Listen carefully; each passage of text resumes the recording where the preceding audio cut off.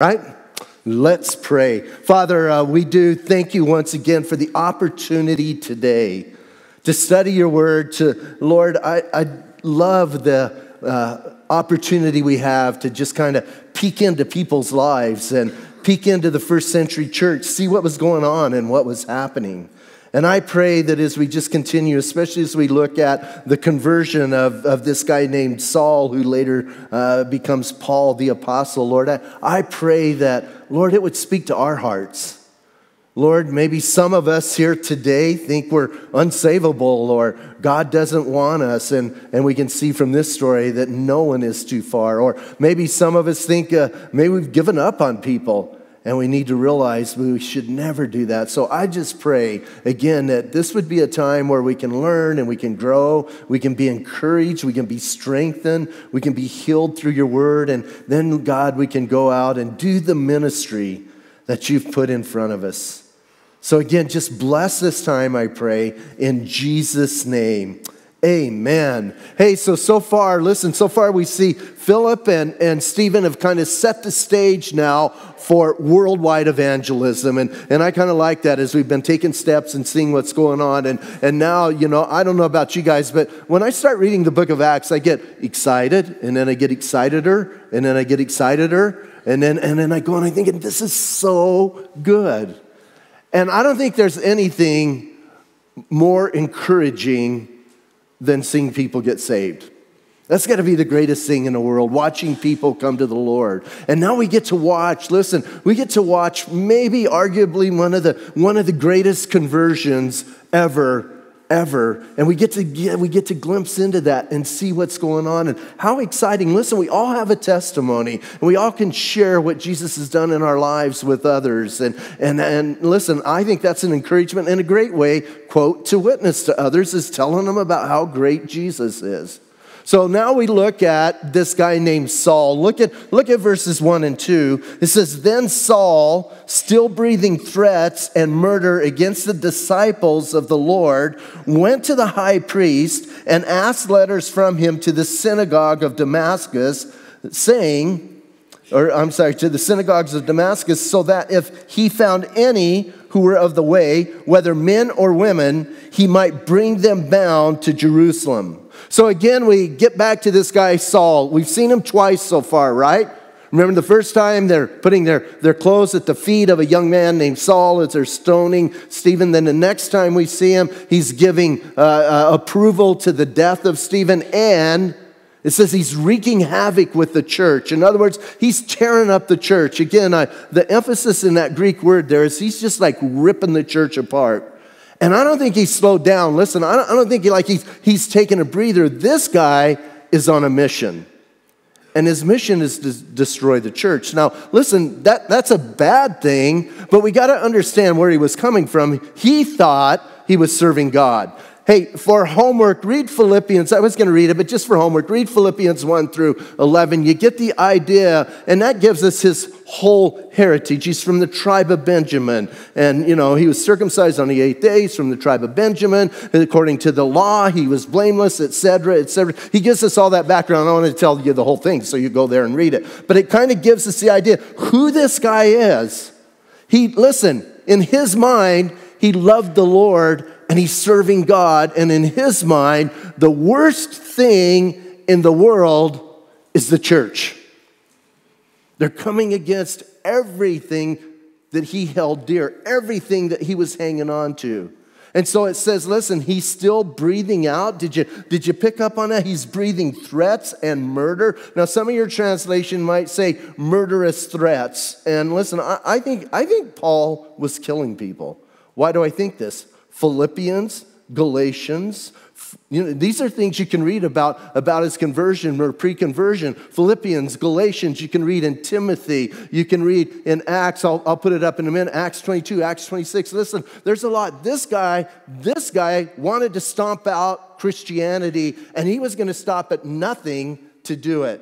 He would even go as far, according to his own testimony, of killing people who believed in Jesus. Now, that's kind of a that's kind of an extreme guy, right? And so listen what's going on, man. There's something, there's something within him that keeps driving him. And now, here's the crazy thing. Now he goes to the high priest and asks him to write letters so he can go all the way to Damascus to the synagogues and stomp out the Christians there. Now you got to understand something.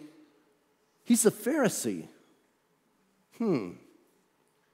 Pharisees and high priests did not get along. Remember, they're at opposite ends of the theological spe- spectrum. One of them is very conservative, very legalistic, following every jot and tittle. The other is kind of liberal, anything kind of goes and it's okay. They're the ones in charge. And yet, here Paul, this Pharisee, goes to this liberal leader and says, Hey, I need some letters because that's how bad, that's how desperate he was. I need letters. I want to go up to Damascus. I want to see if there's any there. Did you pick up what the Christians were called in the beginning? Listen, when the church started, Christians weren't called Christians, they were people of the way.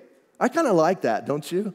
It sounds kind of cool. They're people, listen, that, that implies to me we're on a journey. They're, they're of the way, they're going someplace, right? They're not, listen, Christianity Man, I hope you know this. Christianity is not just fire insurance, right?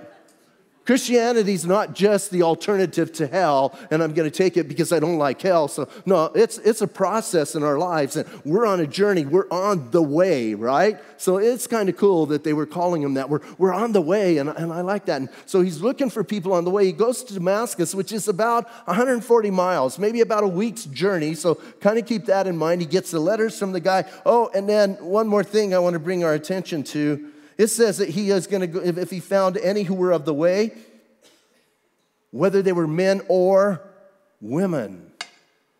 Man. This would be the one guy as a believer you would not want to meet. Right? This is a guy, this is the guy that everybody in the church is saying, can't pray for that guy. He's beyond salvation. He is way crossed the line. He crossed the line a long time ago. Do you feel that way about some people? I think if we're honest, some of us do. We think people are not redeemable, it'll never work in their lives, and, and we kind of look at them that way. And I'll tell you what, I'm, I'm sure the church felt that way about this guy at this time. He's doing everything in his power to destroy them.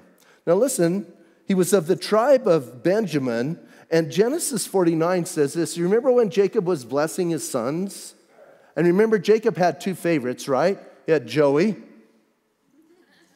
and then he had, he had Benjamin. Listen, Benjamin, here's what he said when he prayed over Benjamin Benjamin is a ravenous wolf.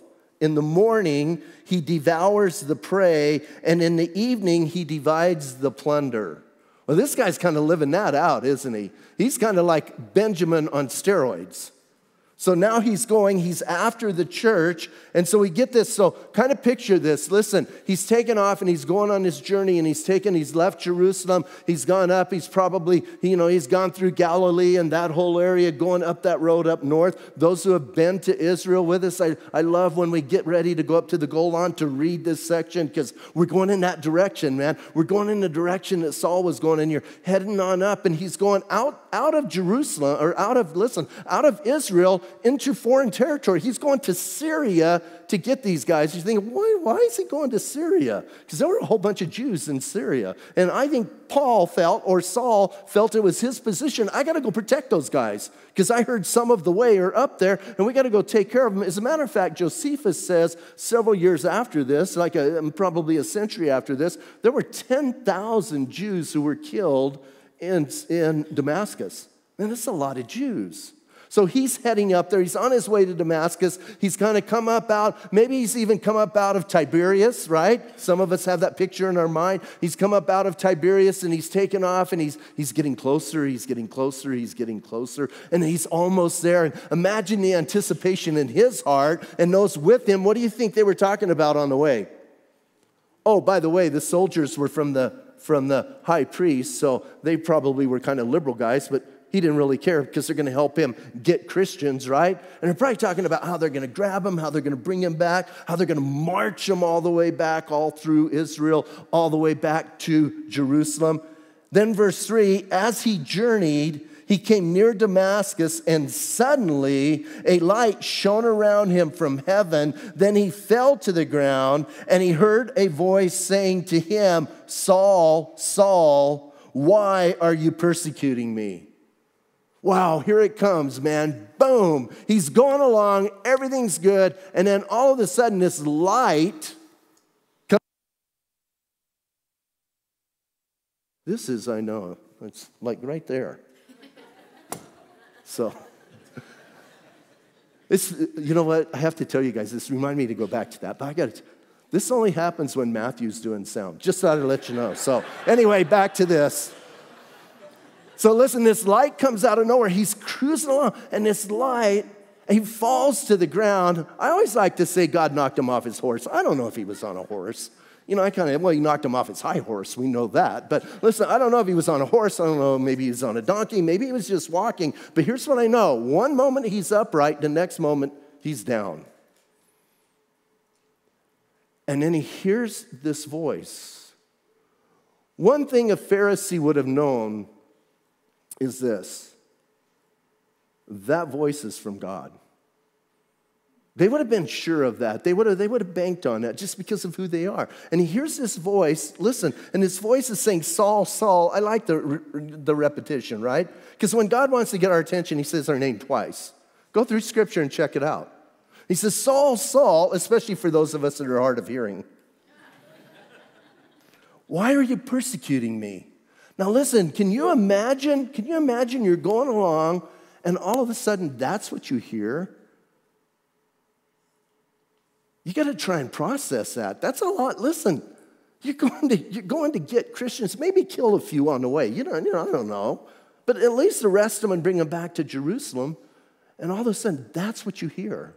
Even if you imagined you heard it, you know, it kind of kills me as you read some commentaries. They go, you know, he was in the Middle East and it's kind of hot and the sun was probably heavy on him. It's sort of the middle of the day and he probably just had like a heat stroke. This is not a heat stroke. And then others say he had an epileptic fit. I'm going like once. So, you know, it's funny what people will do to dodge the reality of what's going on. God is getting his attention. So God calls out to him and asks him, Hey, why are you persecuting me? I, I kind of, I think, man, I don't know about you, but that would be a little bit frightening. So, verse 5, he said, Who are you, Lord? Something to take note of is he does say, Lord. Listen, he recognizes this is God. Again, some commentators try to say, no, he's just saying, Who are you, sir? Ain't no way. No, he knew he knew what was going on. He knew that that voice at least was from heaven. He's, he's like bound down. And I, I, I kind of like the idea. Who are you? Then, then the Lord said, I am Jesus whom you are persecuting. Whoa, whoa. Can you imagine? Can you imagine what is going on in this guy's head at that moment? He knows, listen, he knows it's real whether liberal scholars think it's real or not. He knows it's real. He knows what's happening. He knows what's coming his way. And now this voice says, I'm Jesus. Wait a minute, you can't be Jesus. You're dead. I remember watching you die, maybe. Hmm.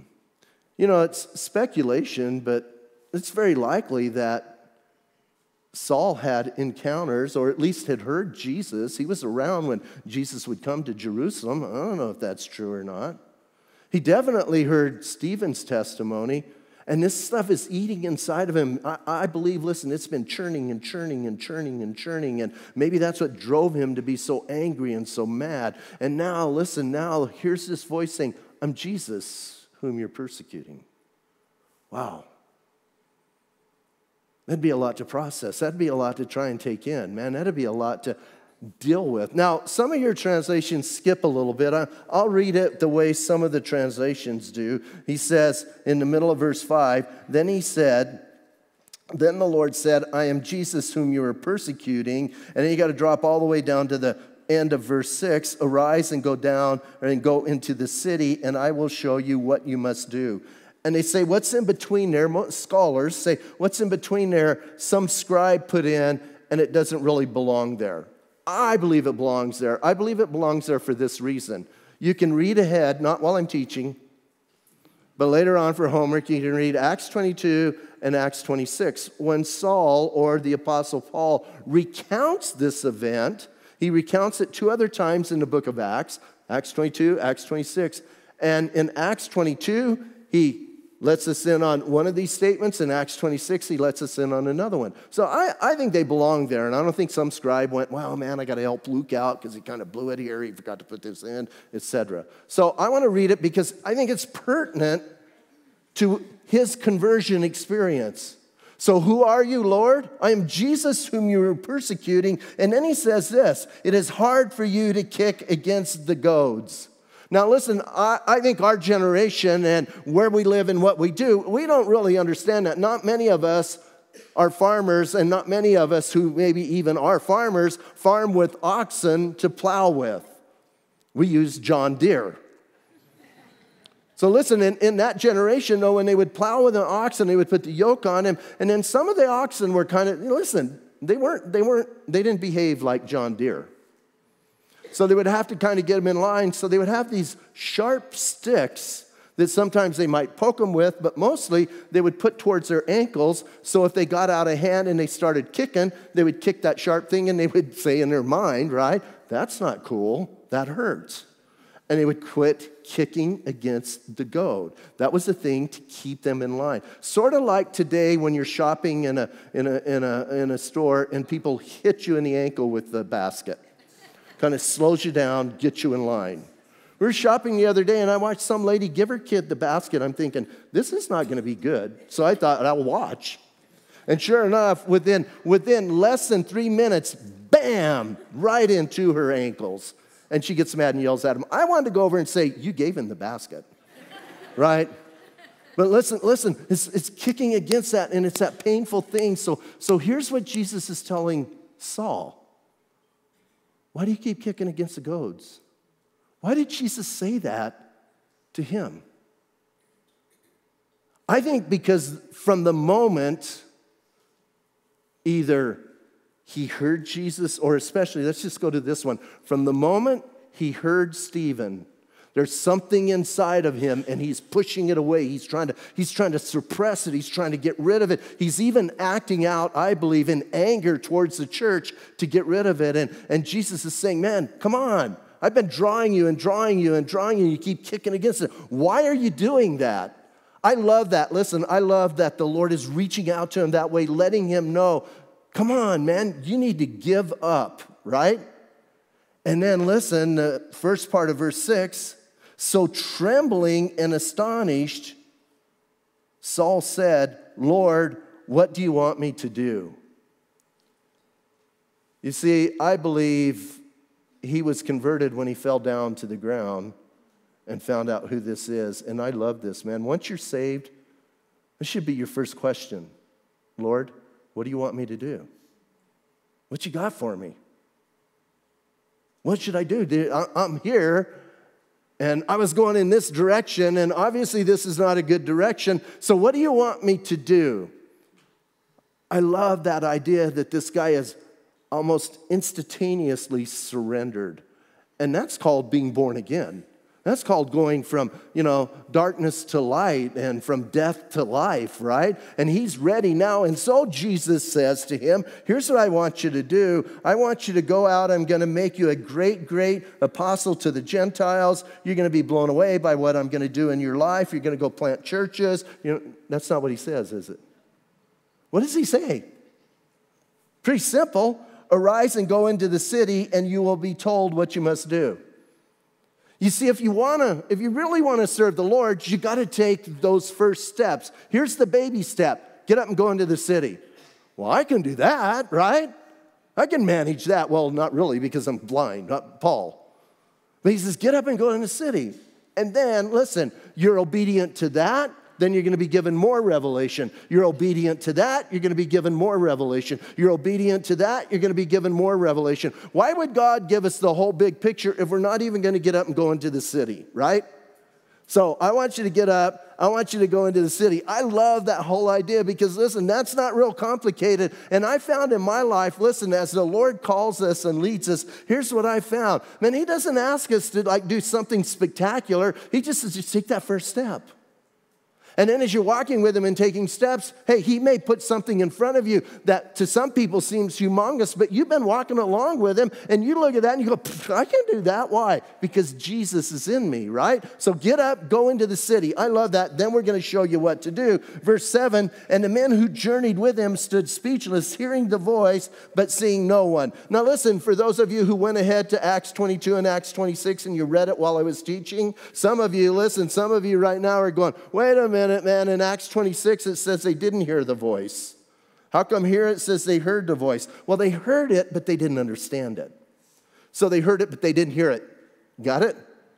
So listen, that's what's going on. Then Saul, verse 8, arose from the ground, and when his eyes were open, he saw no one. You see, God took his sight away for a while because he was so spiritually blinded. He needed to be physically blinded to realize how spiritually blinded he really was. He saw no one, but they led him by the hand and brought him to Damascus. Here's this great persecutor of the church. I'm going to come in and I'm going to wipe you out, being led in like a little child. Hmm. That's Jesus changing people, right? And you see these guys, come on, come on, but take a step, just, you know, kind of helping them out, getting them in. And then Three days, verse 9, and it was three days with, he was three days without sight and neither ate nor drank. I think he was doing this because he's seeking the Lord, because do you understand everything he has to process? This was huge. And we kind of look at his conversion and go, yeah, well, let's move on. He was on his way to arrest, and I believe murder some Christians. And now he's being called to a relationship with this one. Oh, by the way, he was convinced he was dead. That's what they kept telling him. You Christians, you're out of your mind. Jesus is dead. Uh, dead people don't talk. I'm Jesus whom you're persecuting. How's he going to? Pro- how, how do you how do you work through that? How do you deal with that? Well, you gotta, you gotta get alone, right? You gotta think through some things. You gotta think, and plus, remember all of the years of studying the Old Testament. Now, I believe those prophecies and, and the statements about Christ that are hidden in the Old Testament, I think they're flooding through his mind because he's a scholar. Listen, he's not just he's not just a guy, you know, who just he's a scholar. He understands, he knows, he's he's probably memorized most of the Old Testament. All of that's flooding through his head. He's taking his time. So as he's dealing with his issues, now the camera pans, right? And we got to we got to check out the other person involved in finishing out, if you will, the conversion of Saul. So listen, I love this. I love this. Verse 10 Now there was a certain disciple in Damascus named Ananias. And to him, the Lord said in a vision, Ananias, and he said, Here I am, Lord. Notice it wasn't two Ananiases, right? It wasn't Ananias, Ananias. Why, he's ready, right? Here's this disciple of the Lord. I believe he's seeking the Lord. Oh, by the way, notice he's just a disciple. Do you know what that means, don't you? He's one of us, right? It's not an apostle. You know, a lot of people say he was a church leader. It doesn't say he was a church leader. So he's just part of the church. And here he is, he's seeking the Lord, and the Lord says, Hey, Ananias. And what does Ananias say? Here I am. Here's what I'm thinking, man. He's got to be excited. I don't believe the Lord spoke to people every day. So imagine, imagine if you're having your quiet time and the Lord says your name out loud. Wow. I'm thinking Ananias is going, something great is about to happen. Woo, here I am. Now he's going to regret that in a moment. but right now, he's like ready to serve, right? Yes, here I am, Lord. Here I'm ready. And so the Lord says, Good, right? Verse 11. So the Lord said to him, Arise and go to the street called Straight. You know what's interesting? There's still, well, if it's still there, because of all the bombing and everything, but in Damascus, there is still, or was, in our generation, a street called Straight. It was a street that went east west through the city, and it, you know it's been there for millenniums. I, I think that's fascinating. That kind of proves our Bible's true, right? He says, Listen, I want you to go to the street called Straight and inquire at the house of Judas for one called Saul of Tarsus, for behold, he is praying. And in a vision, he's seen a man named Ananias coming in and putting his hand on him so that he might receive his sight. Now, listen, the Lord just, I mean, the Lord gave him details, right? Which tells me his heart was kind of in that place. He's ready to serve, and God gives him details. I want you to go. I want you to go to the street called Straight. I want you to find Judas's house. I want you to find a guy named Saul of Tarsus. I want you to put your hands on him and pray for him for healing. Why? Because I've been talking to him. Now, that, that sounds like, okay, I could do that, right? Unless it was Saul of Tarsus. What if, as you're having your quiet time today, the Lord speaks to your name and you go, Here I am, I'm ready to serve. And He tells you, I want you to go to Damascus. And I want you to go to a street called Straight. And I want you to go to this guy's house. And when you get there, this guy that's been beheading people on YouTube and stuff, you know, the British guy I'm talking about, I want you to go lay your hands on him and I want you to pray for him. You're going to say, okay. Sure, Lord. I mean, hey, that's the equivalent. We got to understand that's the equivalent of what he's telling Ananias to do in Ananias' day. You got to get that in your heart. Listen, this was huge. This wasn't just like, this isn't pretend, this isn't play. This is a guy that has been tearing apart the church of Jesus Christ as much as he possibly can do on his own. And now all of a sudden, you're told, and all you were doing that morning was having your quiet time. I was just seeking you, Lord. I know I said I would do anything, but I meant anything within reason. Because isn't that how a lot of us feel? I'll do anything for you if it's within reason, if it makes sense, if it's logical. If I can, if I can get my mind around it, I'm going to do it. Well, Ananias is not a lot different than us. Check out verse 13. Then Ananias answered and said, Lord, I have heard from many about this man, how much harm he has done to your saints in Jerusalem. And here he has authority from the chief priest to bind all who call on your name. In other words, Ananias is saying, I don't think I want to go. I've heard about this guy, what he's done to the church, the saints in Jerusalem. I know that he's here on a mission, and I know that if I go in that room, I'm more than likely going to be arrested. I'm going to be dragged back to Jerusalem. It's not going to be a good thing. So, God, I don't think I want to go. You just fix them without me. And the Lord says, Oh, come on, Ananias, I got this. You can trust me. Can you? Hmm. You see, I believe a lot of us, we trust the Lord until what the Lord shows us is not within what we consider a reasonable request. And then we go, No, I don't think so. That would be a difficult decision. The Lord tells him, listen, I, I love that he's having a conversation with God, don't you? It's kind of like, I don't know. Again, the Lord's never like audibly spoke to me. I think if he did, I think I would just blow up. I think, man, if I, if I just audibly heard his voice, I think I'd, it'd be the end. It'd be kind of cool, but it would be the end. He's having a conversation, right? Ananias, here I am, Lord. Okay, I want you to go. I want you to go to a street called Straight. I want you to go to Judas's house. I want you to find Saul of Tarsus. I want to put your hands on him and pray for him because he's been praying, and I've told him that you're coming, right? A guy named Ananias is going to come and pray. Okay, well, that, that's, that's cool, Lord, but I really don't want to go, okay? And then the Lord is going to talk to him some more. I love this. Listen, that's kind of telling me it's okay. Listen carefully. It's okay to tell God, I'm not sure I really want to do that. That's all right. It's not cool to tell him, no, Lord, right?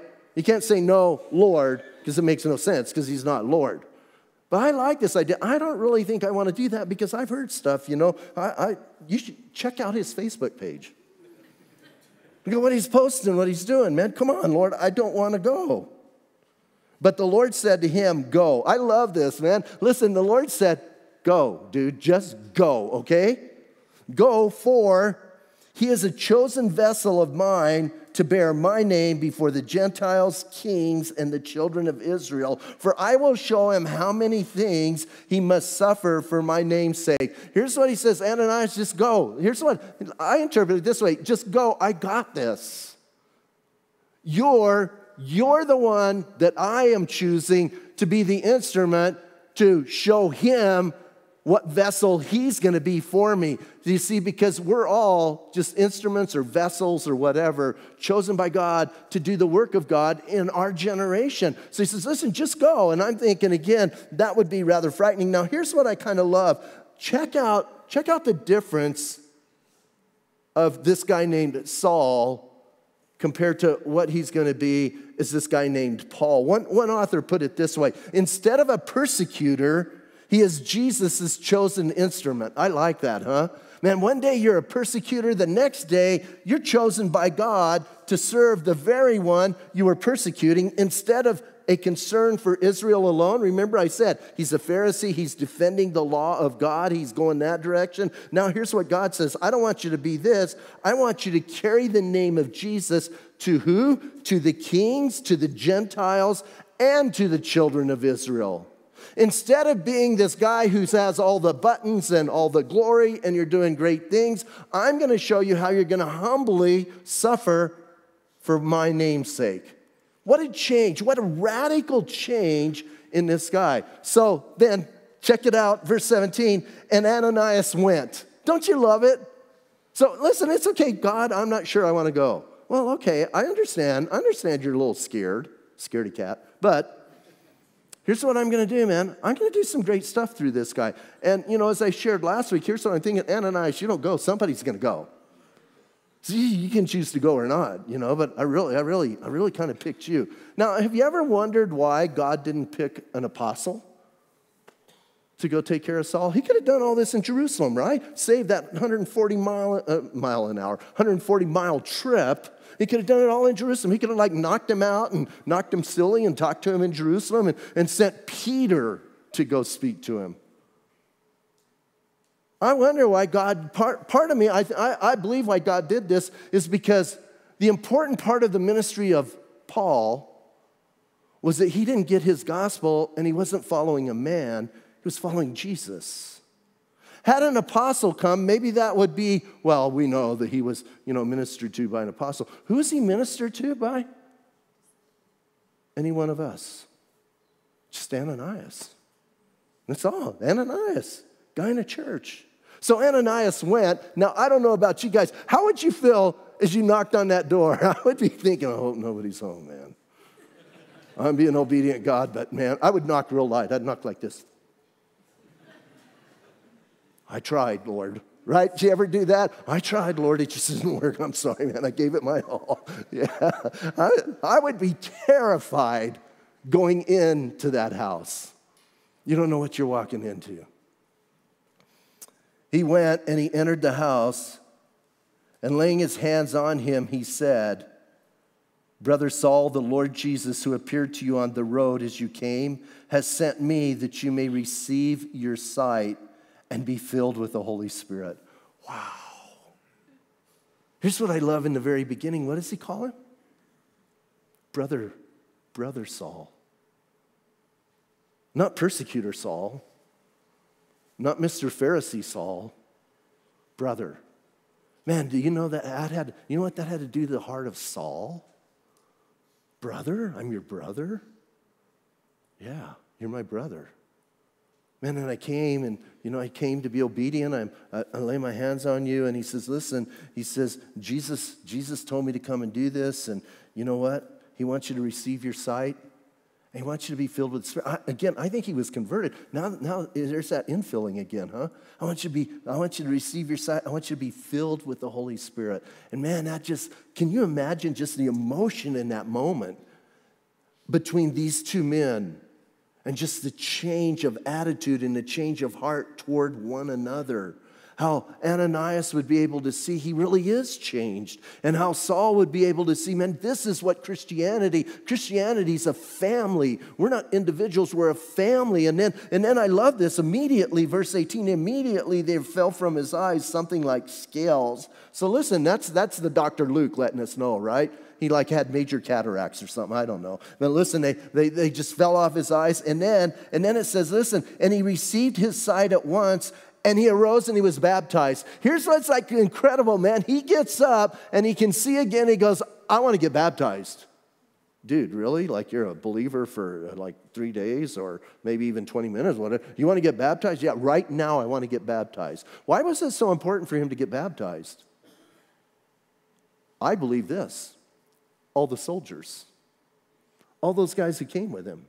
You see, it's one thing to tell people you're a believer, it's another thing to demonstrate to them, I'm going to follow the way. I'm going the way. And the way says that I need to believe and be baptized. So listen, immediately, immediately he gets his sight back, he's baptized. And then here's the part that really blesses me. Check out verse 19. So when he had received food, he was strengthened. Then Saul spent some days with the disciples at Damascus. Hey, he got saved and listen carefully. He integrated into the church in Damascus. He didn't go say, Well, you know what? I'm Saul. I don't need no stinking church. And I hear people say that I don't need the church. Well, I, I think that's a false statement, but you know, you can believe that if you want, but how about this? Maybe the church needs you. See, we're a family, we're together.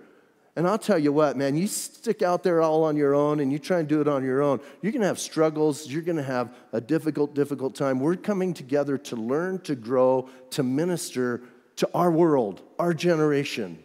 And I love the idea here's this guy. Can you imagine, can you imagine having somebody come into the body who has most of the Old Testament memorized?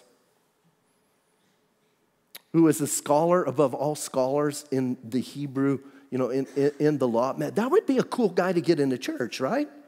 I would want to sit and listen to him a little bit. I would want to hear what he had to say, especially now that he's changed from just being this Jewish guy. Now, listen, now he's understanding all of those prophecies that are given. How many are there saying? Over, over 200 prophecies that given about Jesus. And, and now he's beginning to explain those and expand on those. And then pretty soon, listen, he's going to write some books about it. You know those books that he wrote? Galatians, Ephesians, Philippians.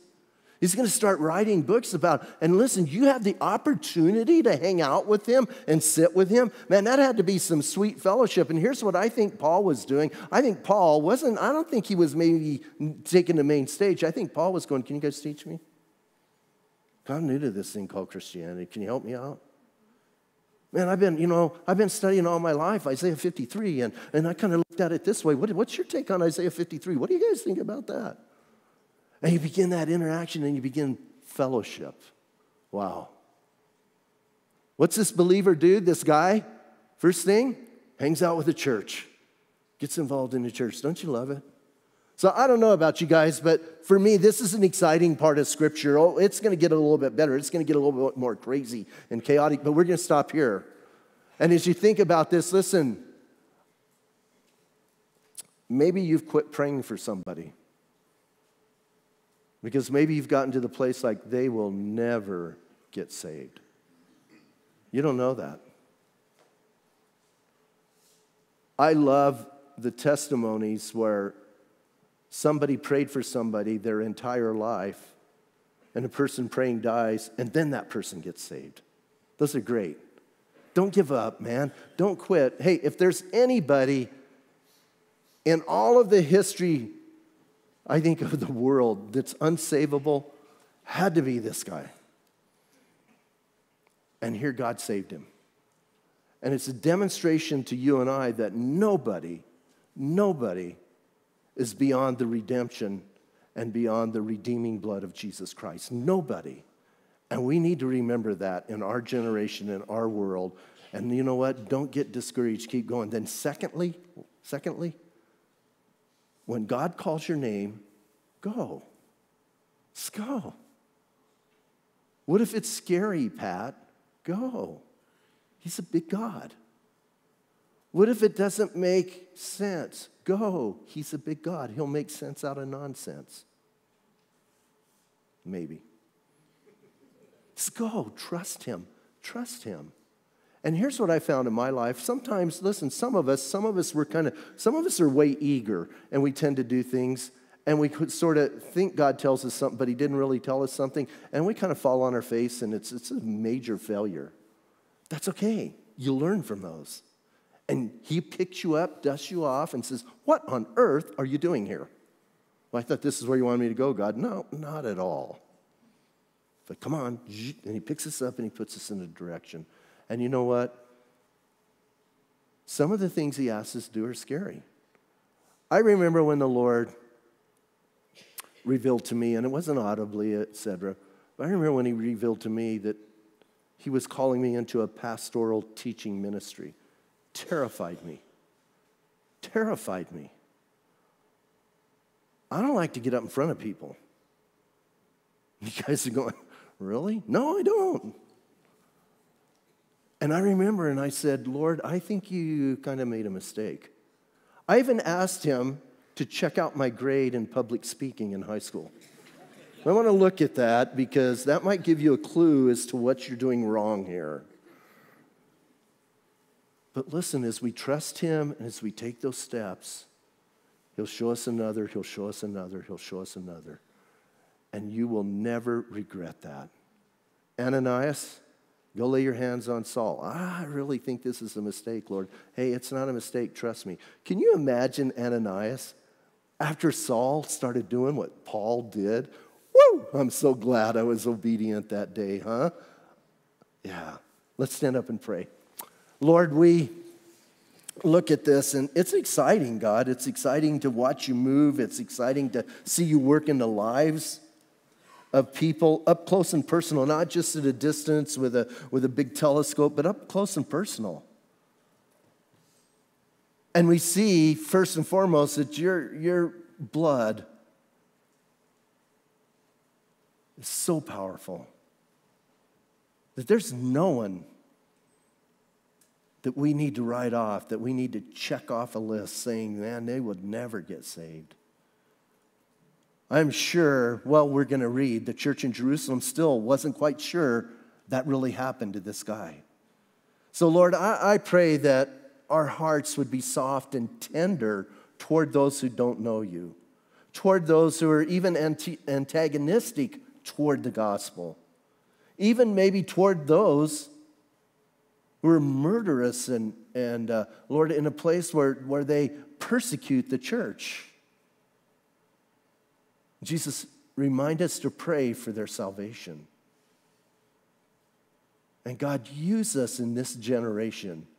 Lord, I, am looking at this, and here was a bunch of believers hanging out in Damascus, having church, and you separate one, you tell him to go and lay his hands on this guy, and then, and then pretty soon this guy's part of the fellowship, and they're hanging out and they're sharing, and, and Lord, they're celebrating the birth of this guy named Saul. And how wonderful that had to be. And God, I thank you that we have those same opportunities here in this generation. So, God, give us those, again, sensitive, tender hearts towards you and towards your will.